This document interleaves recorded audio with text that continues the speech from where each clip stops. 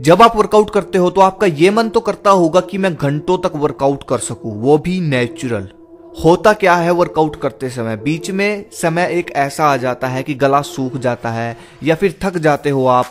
आपने टारगेट रखा कि आज मैं सौ पुशअप लगाऊँगा, लेकिन पचास में ही कहानी खत्म। पचास में ही आपकी बॉडी ने जवाब दे दिया।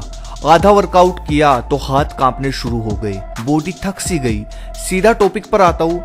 आज की वीडियो में मैं आपको दो नेचुरल ऐसे ड्रिंक बताऊँगा जो कि आपकी बॉडी में एक तरह से पीक देंगे।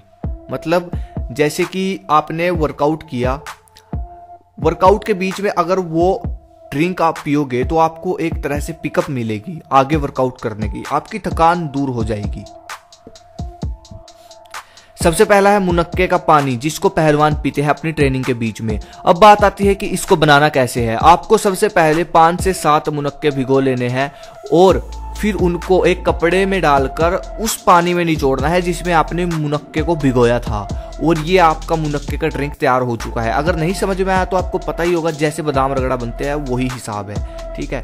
और ये आपका मुनक्के का ड्रिंक तैयार हो चुका है। वर्कआउट के बीच में दो से तीन घूट आप इस ड्रिंक के ले लो। जब आपको लगे कि थक चुका हूँ मैं, और उसके बाद थोड़ा सा रेस्ट करो और फिर अपने वर्कआउट पे लग जाओ। ये आपको एक तरह से पिकअप देगा वर्कआउट करने के लिए।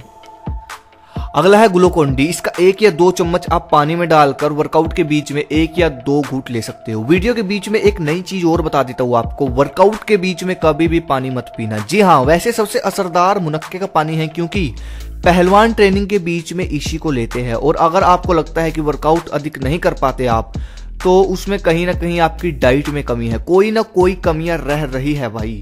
आपको डाइट में इस पर मैं अलग से वीडियो भी बना दूँगा, सर्दियों में क्या डाइट लें जिससे आपके शरीर का वज़न बढ़े और आपकी मसल्स की ग्रोथ हो।